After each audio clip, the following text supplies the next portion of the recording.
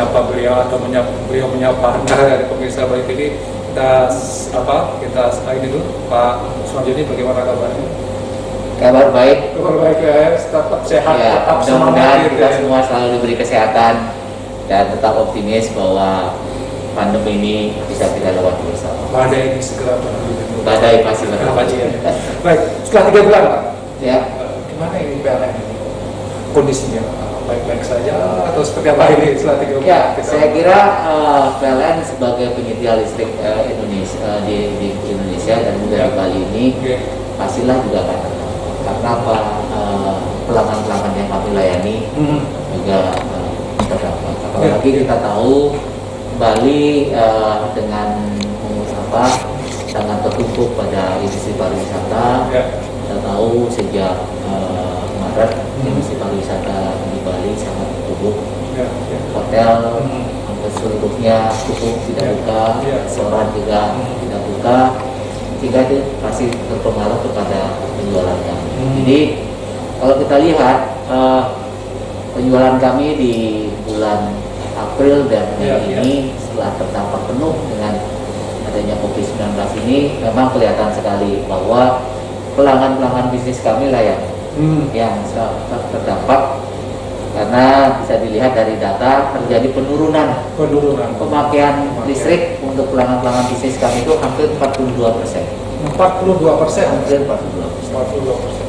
Itu penurunannya 42 persen gitu. khusus pelanggan bisnis Pelanggan bisnis. ya walaupun kemudian pelanggan rumah tangga naik ya Justru ada kenaikan ya. ya karena kan kita uh, kita ketahui kan dengan adanya work from home Hmm. kemudian anak-anak juga sekolah dari rumah Pemakaian listrik di rumah tangga. listrik di rumah tangga uh, naik tetapi ini tidak bisa mengkompensasi turunnya uh, konsumsi dari pelanggan-pelanggan sehingga secara agregat konsumsi uh, energi listrik di Bali turun 17 persen Turun 17 persen. 17 sampai 18 persen Apakah itu berarti ya jelas pendapatan PLN Bali katakanlah itu turun berarti? Ya, jadi uh, pendapatan dengan dengan uh, konsumsi itu relatif uh, hampir apa apa apa uh, inline ya. Jadi Mhm. kalau pendapatan turun 17-18 persen, Ya. kalau uh, konsumsi turun 17-18 persen, maka pendapatan PLN juga turun 17 sampai 18 persen. Oh, jadi sejumlah. Tapi dalam kondisi turun seperti itu gimana? Eh, bisnisnya masih tetap Ya, tentunya uh, apakah kerugian yang terjadi atau kita tidak melihat kerugian, ya, belum menghitung kerugian. Yang kalau memang dilihat dari potensi loss kita dibandingkan itu sudah jelas turun Oh. 60%. Tapi fokus kami adalah eh, bagaimana kami tetap menjaga eh, operasional kami Hmm. untuk melayani pelanggan, Hmm. khususnya Iya, pelanggan-pelanggan yang sampai saat ini masih membutuhkan listrik, tadi rumah tangga. Kami tetap menjaga bagaimana keandalan listrik kepada rumah-rumah itu tetap terjaga. Hmm. karena kalau listriknya mati anak-anak tidak bisa sekolah. Karena sekarang tugas-tugas mereka mereka sekolah melalui online. Bapak-bapaknya orang tuanya juga mungkin tidak bisa mengerjakan tugas-tugas yang harus dikerjakan di rumah. Selain memang juga untuk uh, menunjang kegiatan yang lain di rumah. Hmm. kan mungkin mereka kita tahu dengan sekarang adanya himbauan untuk uh, tetap di rumah saja tentunya mereka juga perlu hiburan agar mereka nyaman di rumah dan semuanya butuh listrik betul. karena itu kami tetap fokus eh, menjaga agar operasional kami berjalan baik, keandalan kami jaga. Jadi sampai saat ini eh, pegawai kami yang tetap bekerja Hmm. dalam masa COVID ini 55% masih tetap bekerja. Tetap bekerja. Kami tidak bisa merumahkan atau mem- membuat pe- pegawai kami itu from home sebanyak mungkin. Maksimum yang kami bisa lakukan adalah hanya 45%. Iya. Sisanya tuh mereka tetap harus bekerja Hmm. untuk menjaga operasional PLN, Untuk menjaga operasional, Iya. untuk menjaga kehandalan menjaga listrik. keandalan, melayani pelanggan Ya. atau masyarakat yang yang mengeluh, yang mengadu. Tapi kalau misalnya kita bicara aja tidak penambahan pelanggan baru gitu dalam kondisi agak susah. Pak. Tetap, Tetap ada. memang masih ada penanganan walaupun eh, relatif turun ya. Oh. Jadi kalau sebelum eh, masa COVID eh, tahun 2019 maupun sampai dengan bulan Maret yang lalu, Hmm. rata-rata per bulan itu kami mendapatkan tambahan pelanggan baru sekitar 6 ribu. Oke. Per bulan, per bulan. per bulan.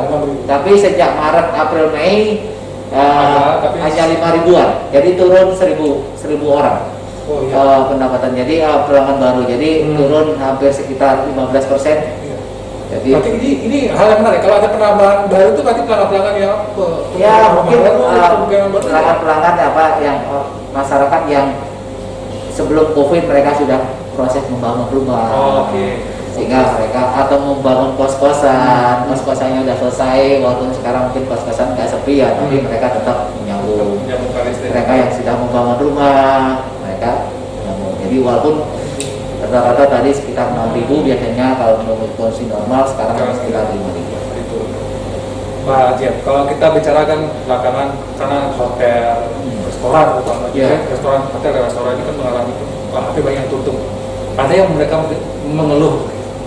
Meminta keringanan pada PLN. Apakah sudah ada penyekapan tidak? Karena Ah, pernah mendengar sudah. itu ada beberapa Jadi yang kami kami sudah sejak awal misalkan kami melakukan eh, video conference Hmm. dengan teman-teman PHRI Oh, Buleleng, melakukan. dengan PHRI Provinsi Bali Ya, ya. untuk eh, kami apa, berdiskusi teman-teman dari PHRI menyampaikan eh, kondisi mereka kemudian menyampaikan harapan-harapan mereka kepada PLN dan kami juga sudah sampaikan Ya. bahwa kami tidak bisa memberikan maksimal sesuai dengan harapan mereka Oh. karena tadi kami juga harus tetap menjaga operasional kami. Betul, betul. Kami tetap butuh dana, butuh biaya untuk membiayai operasional kami menjaga kelistrikan ini tetap menyala. Nah, sehingga eh, kami harus akui kami belum bisa memberikan maksimal sesuai dengan harapan mereka, tetapi kami sudah memberikan beberapa kebijakan kepada eh, apa pelanggan-pelanggan kami, misalkan mereka boleh turun daya sementara, sehingga nanti pada saat kondisi normal mereka bisa naik daya kembali dengan biaya yang relatif jauh lebih kecil dibandingkan kalau mereka eh, tidak dengan program eh, kebijakan yang kami berikan. Misalkan kalau mereka naik daya kembali, mereka bisa membayar hanya 2% dari biaya normal. Bisa Hanya di- dua persen. 2%. Kalau tiga bulan mereka turun daya 2% membayar. Kalau enam bulan mereka turun daya hanya cukup bayar 4% Oh. dari biaya normal. Dari biaya normal. Ya. Jadi sudah cukup membantu kebijakan-kebijakan itu yang kami berikan, eh, yang bisa kami berikan kepada pelanggan. Hmm. Karena sekali lagi kita semua terdampak. Semua terdampak termasuk Kami juga. terdampak dan kami tidak bisa menyetop Hmm. operasional kami. Ya, ya. Jadi kami tetap harus menjaga operasional kami, tetap menjaga layanan kami kepada pelanggan-pelanggan kami yang masih membutuhkan listrik. Karena itu kami tetap membutuhkan biaya operasional yang kami dapatkan dari pembayaran Baik, ekonomi listrik. baik. ini juga menjadi informasi yang penting juga. Ya. Kira PLN itu banyak uangnya gitu bisa. Tidak. Tetap ada pendapatan juga. Betul. Kenapa untuk menjaga kehandalan Betul. Kami Oke, PLN akan membantu tetapi sebatas Sebatas, ya, juga gitu. juga. Akan membantu kemudian kolab semua. Ya, tapi kami juga kolek tidak bisa memproduksi sampai- listrik, tidak bisa membayar kepada Hmm. eh, mitra kerja kami, Hmm, betul. ya sehingga pelayanan kami semakin turun. Nanti eh, malah masyarakat yang masih membutuhkan listrik menjadi korban. Baik. Pak Jet, kalau kita bicara tentang Bali ini kan eh, pariwisata yang menjadi sebuah apa, eh, ekonomi yang andalan lah, Iya, iya. ekonomi.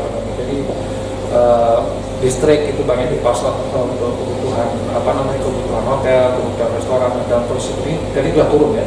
turun.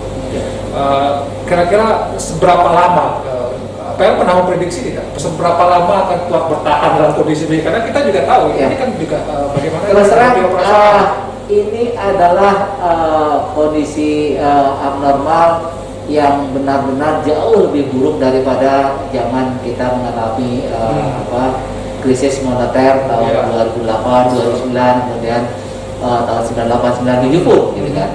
Ini Eh, jauh lebih buruk pak. ini lebih buruk gitu kan karena eh, yang tengah terdampak itu hampir seluruh masyarakat Hmm. yang berikutnya adalah kita tidak tahu Ya.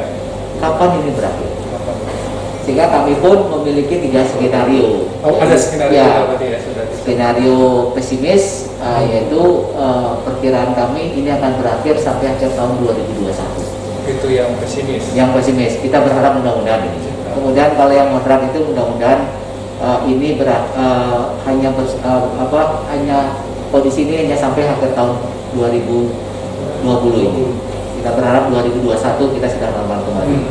yang optimis adalah Agustus Agustus 2020. 2020 ini kita berharap mulai Agustus kondisi sudah mulai membaik ekonomi sudah mulai bergerak kembali pariwisata sudah mulai eh, apa bisa beroperasional dengan normal kembali. Tapi tentunya kita melihat kalau kita melihat tren apa yang terjadi di kita ini kita masih tanda tanya kemarin cepat landai kita berharap ada kebaikan tiba-tiba naik lagi? Ya ya ini ini yang membuat kami sendiri sampai saat ini masih bertanya-tanya sampai kapan ini akan terjadi? Ya sehingga kami terus eh, hampir tiap hari kami mengevaluasi apa yang harus kami lakukan. kalau ini terus seperti ini bagaimana. PLN tetap bisa menjaga operasional apa eh, PLN dengan baik walaupun saat ini PLN pusat dan kami sendiri sudah menyiapkan mempersiapkan diri untuk memasuki new normal Oh, sudah memang. kami sudah mempersiapkan diri masuk new normal jadi Bentuknya seperti apa itu Pak? jadi misalkan bahwa bagaimana eh, kondisi operasional PLN tetap berjalan tapi dengan tetap memperhatikan protokol COVID-19 Oh, iya iya. jadi misalkan bahwa bagaimana nanti kalau pegawai sudah mulai disuruh mulai bekerja. Mereka tuh bekerja seperti apa protokolnya? Kemudian di tempat kerja seperti apa? Nah itu sudah siapkan. Sehingga nanti kami tidak ada lagi ruang rapat yang tempat duduknya berdekatan. Hmm. jadi oke. kami sudah siapkan Oke. semua ruang rapat kami itu dengan tempat duduk sekitar 2 meter 2 meter. Baik, sudah dipersiapkan. Baik, mungkin yang terakhir eh, ada harapan nih yang mau disampaikan kepada pemirsa terkait dengan pelayanan PLN yang apa yang mungkin harus dilakukan masyarakat juga membantu PLN. Jangan sampai PLN tumbang, kalau PLN tumbang, gawatlah gitu apa. ya tentunya eh, harapan kami kepada pelanggan dan masyarakat eh, untuk tetap membantu kami terutama untuk eh, membayar rekening listrik tepat waktu karena itu merupakan eh, darah bagi kami untuk kami bisa membiayai operasional kami dan eh, semua pelayanan kami masih tetap terbuka. Jadi keluhan bisa dilakukan lewat kontak center eh, 123 loket-loket juga kami masih buka dan eh, walaupun mungkin eh, dengan protokol COVID-19 dan eh, kita berharap mudah-mudahan badai ini segera berlalu. dan kita bisa hidup eh, seperti normal kembali walaupun dengan kondisi yang berbeda dengan normal sebelumnya. Itu saja mungkin harapan kami kepada eh, seluruh pelanggan masyarakat eh, Bali, tolong tetap doakan kami agar kami tetap Bisa melayani sebaik-baiknya pada pelanggan meskipun dalam kondisi wabah COVID-19. Baik, sekali lagi terima kasih Pak Kim. Pak, biasa. semua semuanya. Jadi kita mendapatkan informasi yang penting juga tadi bayar listrik tepat waktu kalau tidak ini PLN bisa tumbang kalau PLN tumbang kita gelap semua ini mau? Ya, Kacau lah kita semua gitu aja. Iya, betul. Terima kasih. Jadi sama-sama saling mengerti. Demikian uh, perbincangan di Bisnis Bali News bersama GMPLN uh, unit induk distribusi Bali dan mudah-mudahan badai ini segera berlalu. Sekali lagi terima kasih sampai jumpa di Bisnis Bali News berikutnya.